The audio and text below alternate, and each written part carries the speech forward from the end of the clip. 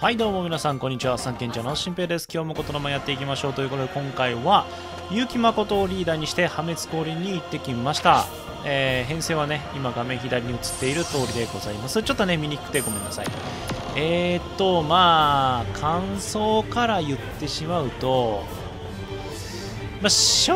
直な話うんちょっと微妙でしたね。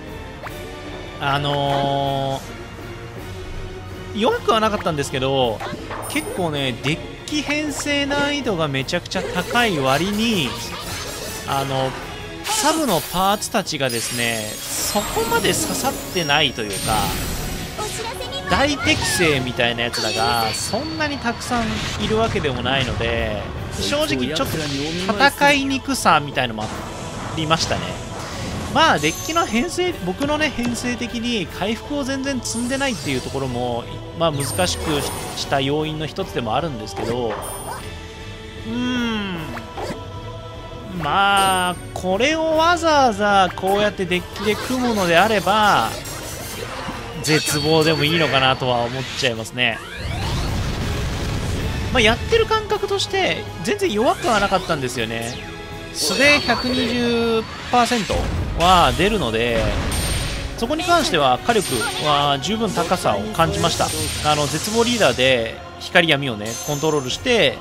まあ、高い数値に持っていくっていうよりも楽さはあるんですよね。実際あの絶望リーダーでやるよりもあの光と闇の枚数に関しては少なく抑えられてるので、まあ、こちらの火ダメージも抑えられるっていうところですよね。うん。ただまあ序盤のね呪いを食らってしまう可能性だったり汚染を食らってしまう可能性の、まあ、安定感みたいなものは、まあ、絶望の方が若干優位だったりとかあとはサブの豊富さに関してはやっぱりまだ絶望の方が軍配上がるかなっていう感じですね。うん、やっぱそのパーツの少なさっていうところが一番のネックなポイントかな。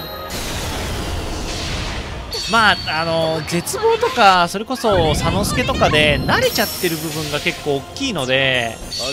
あの文字がねパッと出てこなかったりとかそういうところもね原因だとは思うんですけどこれでじゃあめちゃくちゃ周回が楽になります。破滅降臨もう結城誠で決まりみたいな風になるかって言われるとちょっとまた違うかなとは思っちゃいますね。うん強いんですけど強かったっちゃ強かったんだけどって感じですね。終始、うん、結構ねあのしっかりと各ターンであのやることをやるやれれば全然サクサクいけます。それこそ5文字作ったり、えー、雑魚をちゃんと倒せたりとかあのそのターン各ターンでやらなければならないことがしっかりとできるのならばそしてサブが割としっかりと揃っているのであれば強いのかな、うん、ただまああの編成見てもらって分かる通り結構編成難易度高めですよね。サブのコラボ祭りもそうだしまあ通常キャラをもね英雄入ってるし、まあ、英雄に関してはね、ちょっと英雄じゃなくてもいいのかなって思う場面が結構あったので、まあ、英雄じゃなくてもいいのかなとは思うんですけど、結構ね、やってて思うのは、桂に関してはいた方がいい気がする。桂いないとちょっときついかな。まあ、ここなんかは佐之助と桂でもしかしたら両端右タップしてれば両端落とせたのかなと思うんですけど桂佐之助あたりはねちょっといないとしんどいだろうなっていう雰囲気はありますね。まあどっかが会津バレンシュタインとかでもいいのかなとは思うんですけど。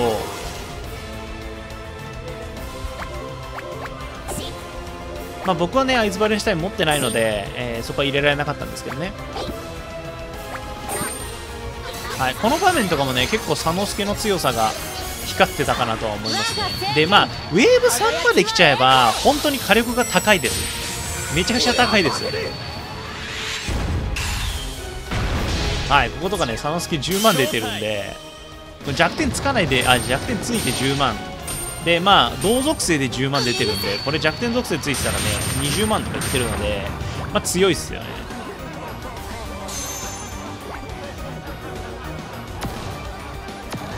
はい。まああとはうんとこのデッキでの難しさっていうところを言えば最低でも光と闇が4体入ってしまうっていうところなんですよね。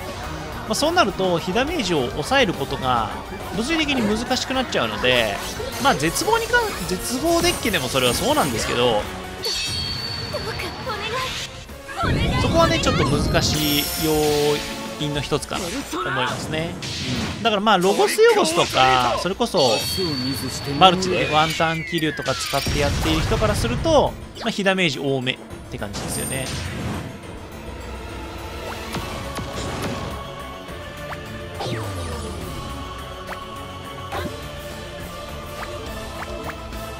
はい。でまあラインハルトとかねいるとここすごい便利ですよね。まああとここがね今ラインハルトが入ってるところがアイズバレンシュタインとかであれば、えー、スーパー弱体ガードでねさらに火力が上がってっていうところが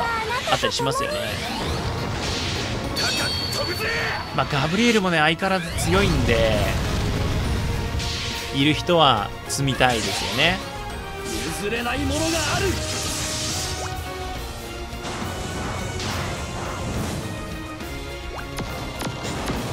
はい。でね公開化を作ってもおしまいなんですけど。まあ本当にえっ、ー、とサブの揃い方次第です。それだけ。それだしそれだけですマジで。うん編成難易度は高めです。あの通常キャラだけで組もうとすると結構微妙なデッキになってしまいますし。うんなんかベスト僕の編成がこれベストだとは思わないんですけどベストな編成を追い求めるとうんわざわざ有機を使う必要はないのかなっていうところですね。まあもちろんあの今までね絶望とか持ってなくて破滅挑戦できなかったって人は、まあ、この際にあの英雄種族引っ張り出して行ってみてもいいのかなと思いますけれども。まあ、破滅級なんでね難しいのは分かりきったことなのでぜひぜひ挑戦という形でねチャレンジしてみてはいかがでしょうか。ということでご視聴ありがとうございました。ではではまた次の動画でお会いしましょう。バイバイ。